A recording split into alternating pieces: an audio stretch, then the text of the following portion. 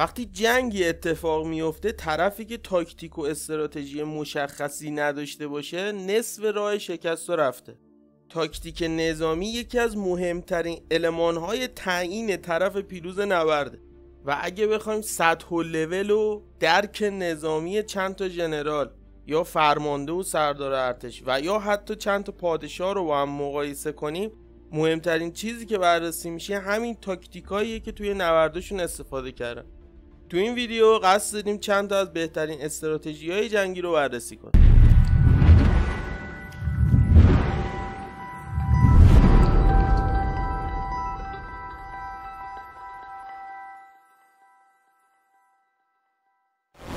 آقایون خانم درود حالتون چطوره؟ خوشگل شیطون ولال هستید یا نه؟ خوش اومدید به قسمت جدید مورخ پارسی. توضیحات اول ویدیو فکر می‌کنم کافی بود. فقط اینو اضافه کنم که مسلما هم می‌دونید. فقط همین چند تا تاکتیک نیست و ترتیبشون اصلا ربطی به رتبه بندی و که این بهتره و اون بدتره این چیزا اصلا نداره.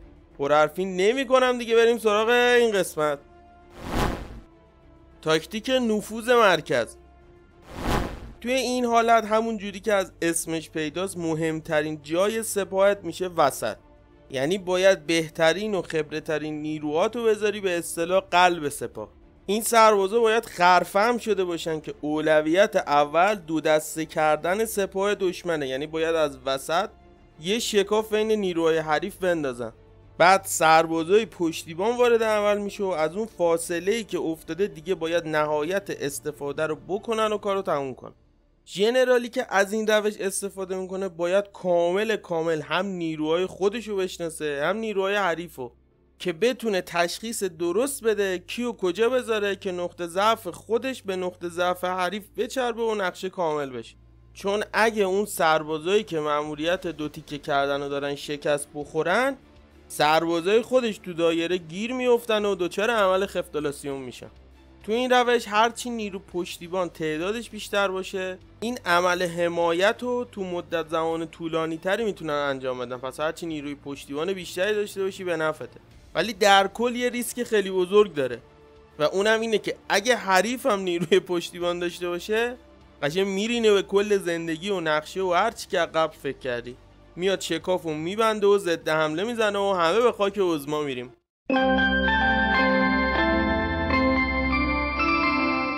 خانم اگه کانال مورخ پارسی و subscribe نکنیم چه اتفاقی میفته؟ اتفاقی بد بد جور. آرایش مورب یکی از اولین تاکتیک های جنگی که مورد استفاده قرار گرفته و هوپلایت های یونانی واسه اولین بار استفادهش کردن همین آرایش موربه.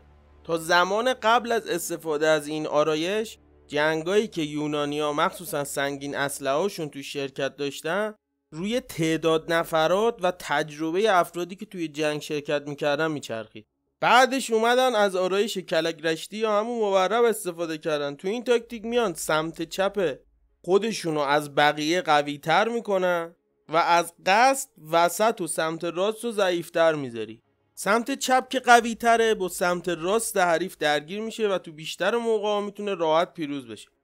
دو تا قسمت ضعیفتر سپاه اصلا نمی جنگن همینجوری باید فوش بدن و سوسکی بیان عقب. این عقب اومدنشون هم باید به سمت جناح قوی تر باشه که اگه یه موقع لازم شد بتونن از اونا پشتیبانی کنن.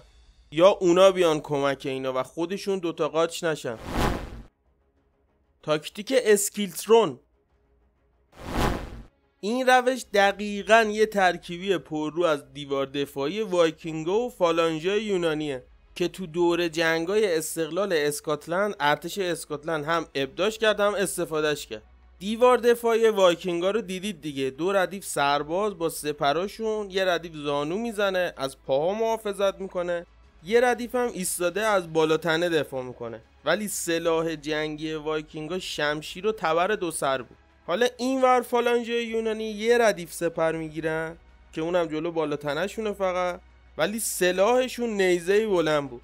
حالا اسکاتلندیا اومدن اینا رو با هم قاطی کردن. یکم هم نیزه رو بلندتر کردن. شد یه دیوار دفاعی دو ردیفه مثل وایکینگا که نیزه بلند دارن مثل یونانیا تو جنگای استقلال اسکاتلند دشمن اصلیشون انگلیس بود.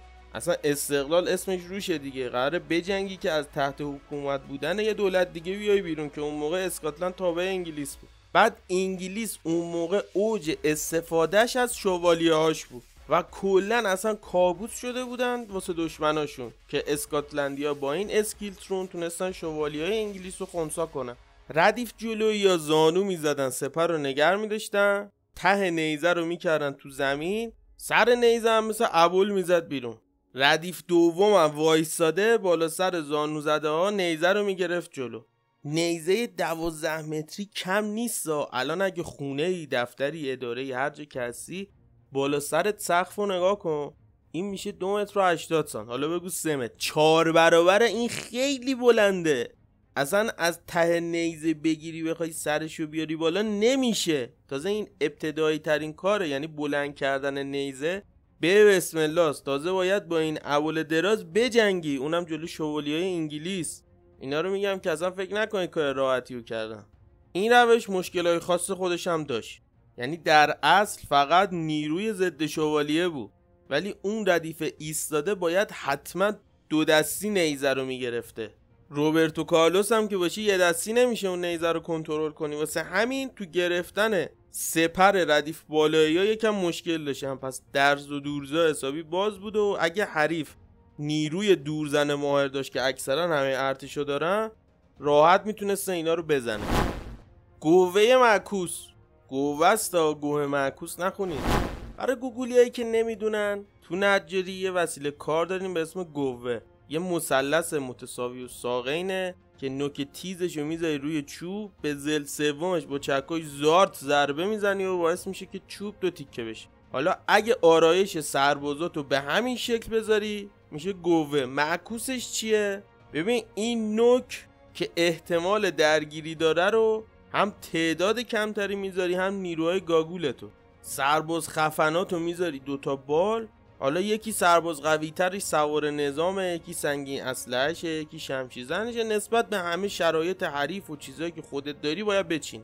پس باید صد درصد از این مطمئن باشی که اگه دو طرف سپاهت داری سوار نظام می‌ذاری حتما حتما حتما از پس معمولیتی که بهشون دادی برمیان اون نیروی نوک گاگول که وسط وایستاده اصلا نباید درگیر بشه و تا جایی که می‌تونه باید ارتش حریف رو به حرکت وادار کنه. خودشم بیاد عقب هم سطح صفایی دیگه دفاع کنه تا اون نیرویی که بهش صد درصد ایمان دارن بتونه طرف مقابلش رو شکست بده و برسن و بتونن حریف رو محاصره کنن. عقب نشینی ساختگی. این روش برخلاف اسمش که ساده به نظر میاد ولی خیلی شرایط باید کنار هم قرار بگیره تا بشه ازش استفاده کرد. مثلا که مثلا وقتی که ارتش حریف به هم چسبیده عمل می‌کنه و تو هر جوری شده باید این نظمه رو به هم بزنی.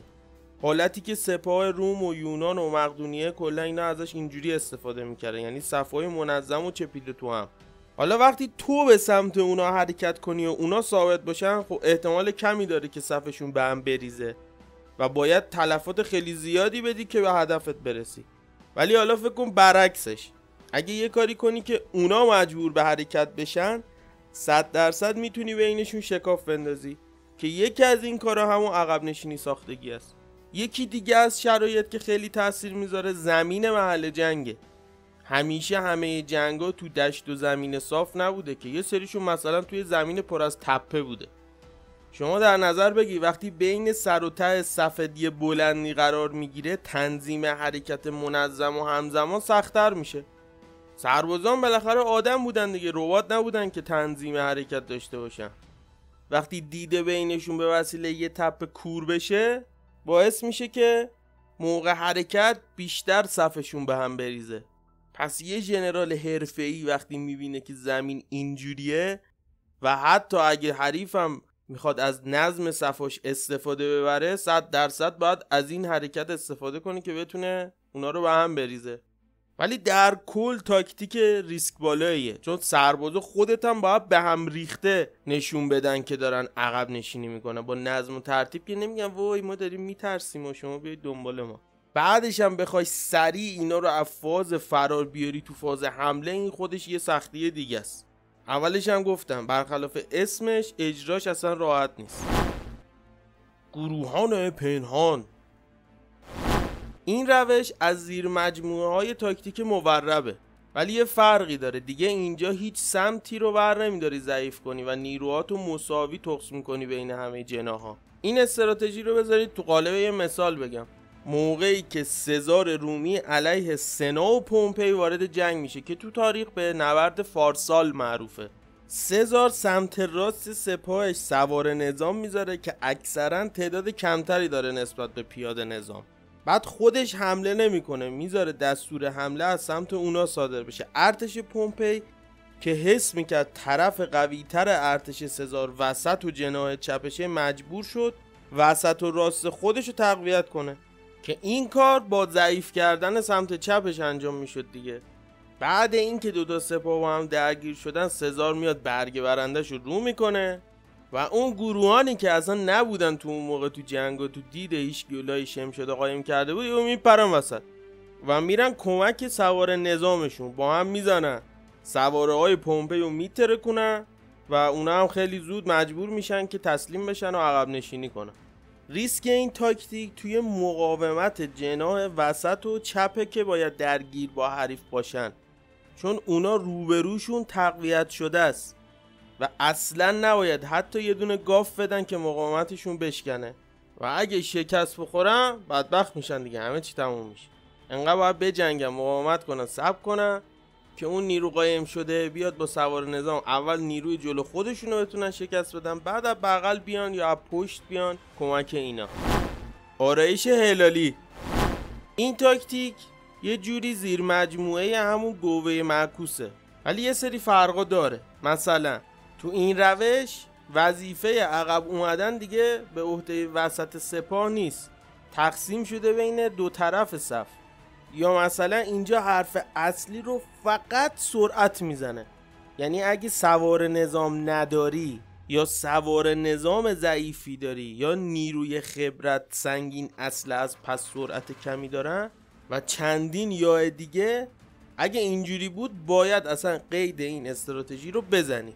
این دوتا بال تو که نزدیکتر صفحه دشمن می‌ذاری حتما حتما باید سرعتی ترین و حرفه‌ای ترین نیروت باشه. وظیفه اینا اینه که اون نزدیکم وایسن فقط فش بدن. همینجوری فش ناموسی بدن بیان آقا.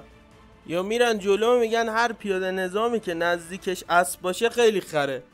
پیاده نظام روبرو هم بدبخت واسه این که از اسبای خودشون فاصله بگیره و بیاد اینا رو بزنه شکاف میندازه بین سپاه خودش. انقدر میان میان میان.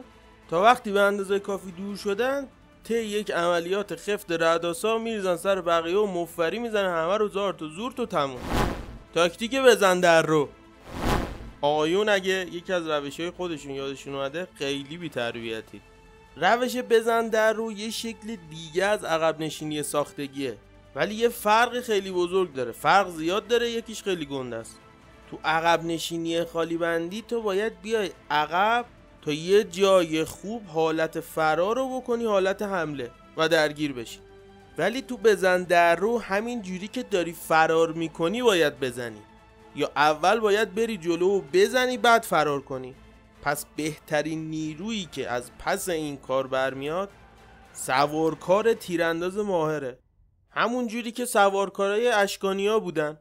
و بزرگترین مثالی که واسه این تاکتیک هم میشه زد همون جنگ هران و کارس جنگ بزرگ سورنا و کراسوس رومی که توضیح کاملش تو کانال هست. یه فرق دیگه هم که با بیشتر تاکتیکا داره اینه که طرف مثلا یه بار حرکت مورب انجام میده. یا تو همون عقب نشینیه یه حرکت رو به عقب دنباله دار بعد یه ضد حمله سریع انجام میشه و تموم. ولی تو این بزن در رو پروسه رفت و برگشتیه هی باید بری بیای. بزنی فرار کنی انقدر این کار رو انجام بدی تا نیروی کافی به اندازه لازم ضعیف بشه و بتونی بری بالا سرش دعواش کنی. انگار 7 تا شد دیگه. فکر کنم تا همینجا کافی باشه. امیدوارم این ویدیو خوشتون اومده باشه. تونسته باشم اطلاعاتی رو منتقل کرده باشم. اگه دوستش داشتید لایک و کامنت یادتون نره. دکمه قرمزه رو بزنید. زنگوله بغلش هم بزنید. مرسی که صدای بنده رو تحمل کردید. دیگه ارزی نیست. بدرود!